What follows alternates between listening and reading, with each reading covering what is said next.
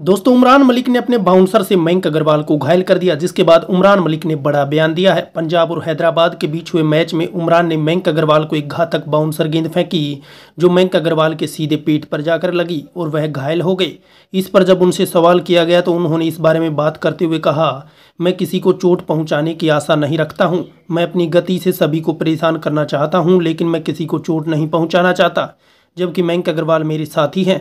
Match खत्म होने के बाद मैं उनके पास गया और उनकी हालत के बारे में पूछा। मुझे उम्मीद है कि उन्हें गंभीर चोट नहीं आई है। दोस्तों, इस सीज़न में उमरान मलिक ने आपको कितना प्रभावित किया, हमें कमेंट करके ज़रूर बताइएगा।